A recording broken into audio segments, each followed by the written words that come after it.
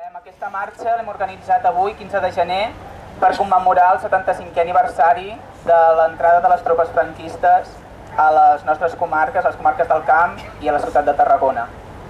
Aquesta marxa l'hem convocat des d'arran i el conjunt de l'esquerra independentista dins del marc de les jornades antifeixistes que hem organitzat per, aquesta, per aquest aniversari. Bé, em, com bé sabeu, aquesta, aquest recorregut no és un recorregut convencional de tantes marxes i mobilitzacions que convoquem. L'hem convocat des de la plaça del Rei, que és on hi havia l'antiga presó franquista de Pilats, a l'actual, el que va ser el torn operatori, i ens hem, i, la vam, i, vam, i el recorregut l'hem fet fins aquí, a la muntanyeta de l'Oliva, que és on afusellaven els republicans que estaven tancats a la presó. Tots aquests arbres que ens envolten, les, els arbustos, la terra que estem trepitjant, que hi ha sota l'asfalt, ha estat regada per sang de les víctimes del feixisme que han estat afusellades en aquesta muntanyeta.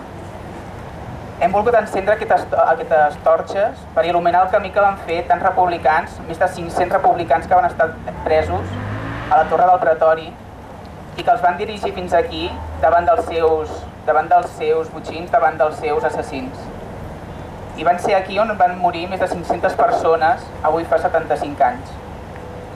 Avui és 15 de gener i segurament del 2014. Segur, de ben segur que, molts, poc, que seran pocs tarraconins que recordaran aquesta data, com l'entrada, com la, el dia en què van entrar les tropes franquistes.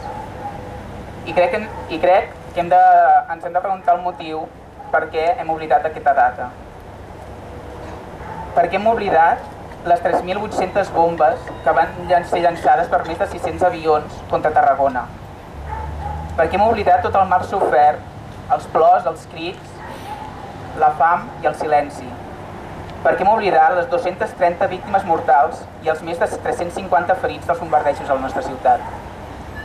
Crec que la resposta és ben evident, i és que nosaltres no hem oblidat la història, la nostra història, sinó que mai ningú no ens l'ha explicat. Les nostres institucions, després de, 30, de més de 35 anys de gestió, han estat incapaces de dignificar tots els espais de, la víctima del franquisme, de les víctimes del franquisme. Després de 35 anys encara estem reclamant que es dignifiqui no només tots els espais, sinó totes les persones que van morir afusellades i totes les persones que van ser víctimes directes de, del franquisme i d'aquella guerra.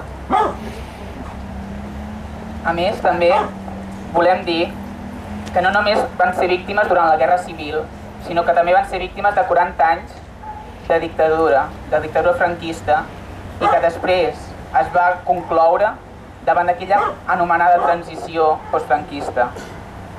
Actualment molts partits reclamen canvis. Molts, molts partits catalans que ens governen i estan representats demanen canvis davant d'una Constitució i un Estatut que van ser ells mateixos qui els van redactar amb ploma franquista i amb tinta, i amb tinta de la sang de les, totes les víctimes del feixisme. Actualment són ells els que demanen canvi a aquesta Constitució que ells van formar part d'aquell circ anomenat transició. No obstant, va ser des de l'esquerra independentista d'aleshores que es va assenyalar que els hi van titllar d'antidemocràtics per no firmar aquella transició que havia de ser tan unitària. Van ser tots els partits que ens van assenyalar i ens van, ens van condemnar per dir no a la Constitució, per dir no en aquell estatut, que 35 anys després hem vist la seva inoperància que han tingut.